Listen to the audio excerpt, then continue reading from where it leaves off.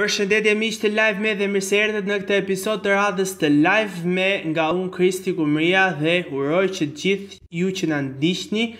të jeni shumë mirë me shëndet dhe të jeni duke kaluar kohë të mira me familje, me miqtë apo njerëzit tuaj më të afërt.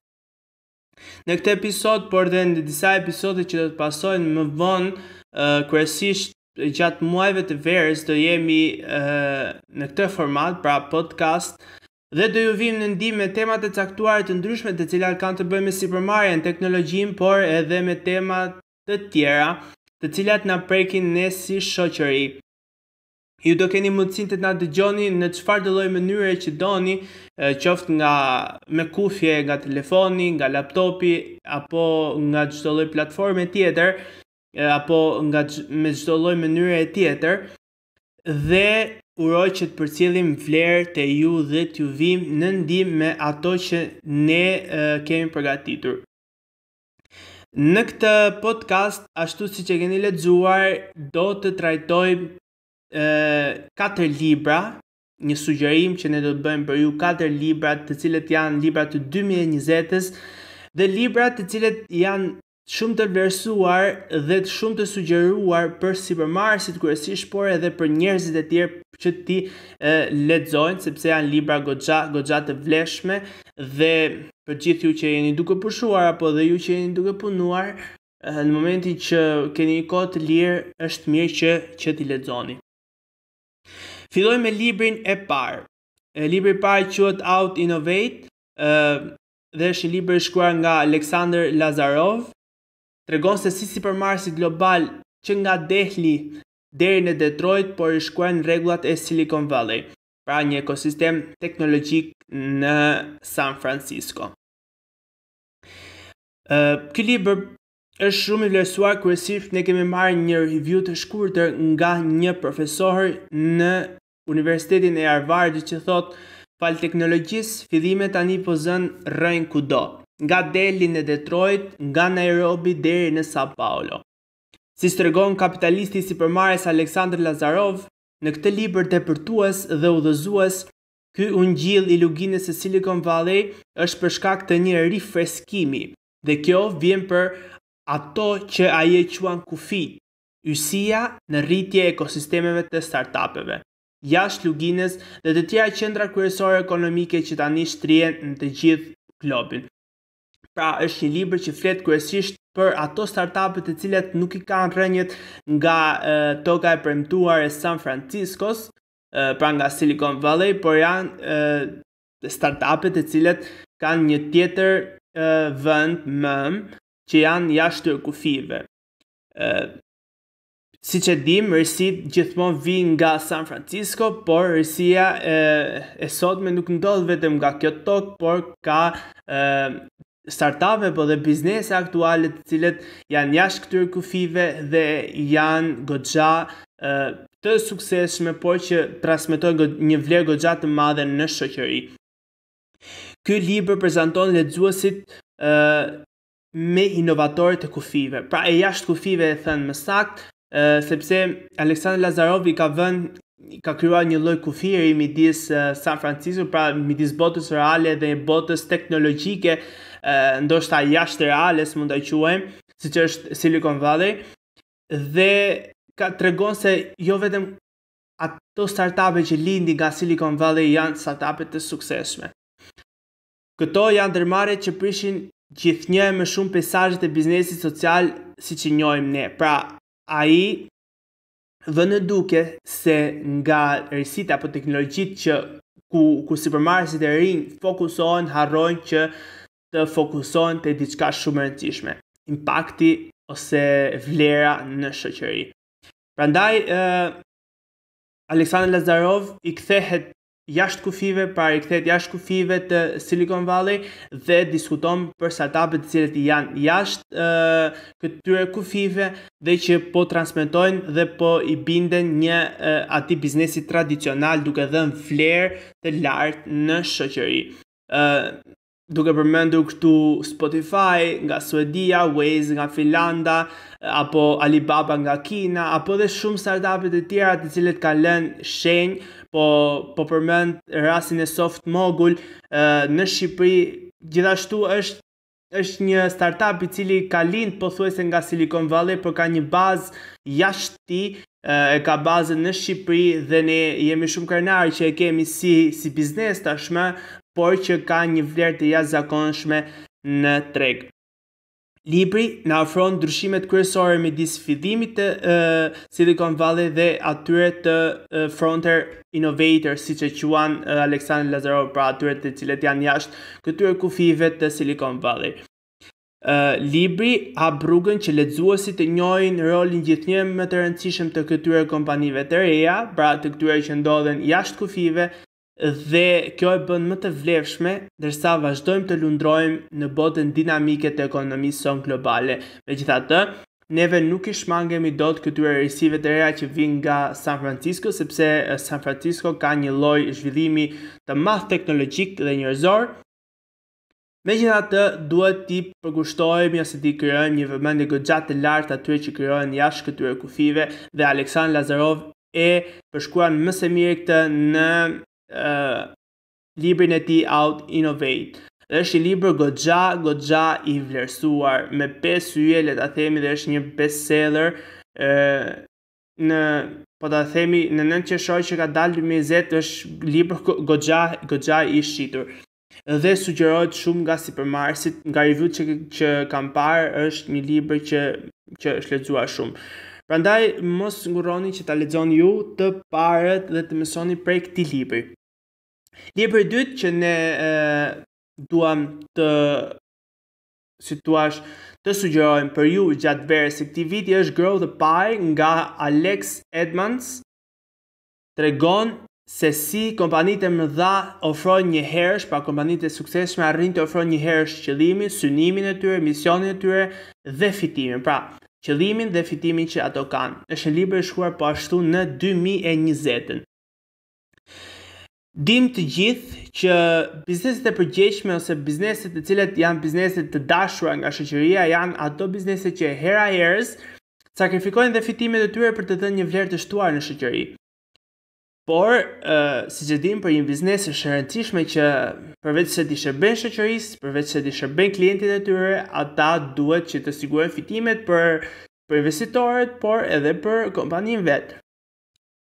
bazuar në provat e cilësisë më të larta dhe nga shembuj të të përgjithësuar nga jeta reale që përfshin industri dhe vende, Alex Edmans tregon se si kompanitë mund të ndikojnë në shoqëri dhe të kenë njëkohësisht edhe fitime. Pra, të bëjnë një lojë, nuk mund të themi lojë, por të bëjë një veprim të dyfishtë dhe të japin një vlerë ashtu siç e ka vetë biznes ose ashtu siç i meriton një sipërmarrje, siç e meriton një sipërmarrje ose një biznes i caktuar, sepse realisht një biznes krijohet për të kri, për të dhënë vlerë në shoqëri dhe kjo është goxha goxha e vlefshme. bizneset të cilat nuk nuk japin vlerë në shoqëri dhe nuk duhen nga nga shoqëria ose nuk i duhen shoqërisë, nuk zgjidhin një problem real, janë biznese goxha afatshkurtër. Kompanitë e suksesshme tregon Aleksandr Lazarov që janë ato të cilat nuk synojnë fitimin në mënyrë të drejtpërdrejtë, por drejtohen nga qëllimi i kompanisë. Pra, qëllimi që ka një kompani, qëllimi që ka një sipërmarrje për të kryer, pastaj paratë janë ë janë një vlerë goxha e rëndësishme, por që vijnë pas pas qëllimit të kryer, pas vlerës së shtuar të dhënë në shoqëri. dhe këto biznese janë të fokusuar te klienti. Biznese të cilat janë të fokusuar te klienti, fokusohen te njeriu, te përmirësimi i njeriut dhe klienti gjithashtu, përmirësimi i jetës së tij, janë biznese të cilat janë shumë jetëgjata në, në, në shoqëri, por janë dhe goxha të të suksesshme. Ky libër na shpjegon se si zbatohet qëllimi në praktikë pra, qëllimi mos të jetë një deklaratë misioni në planet e biznesit apo edhe në në tabelat që janë varur nëpër zyrë,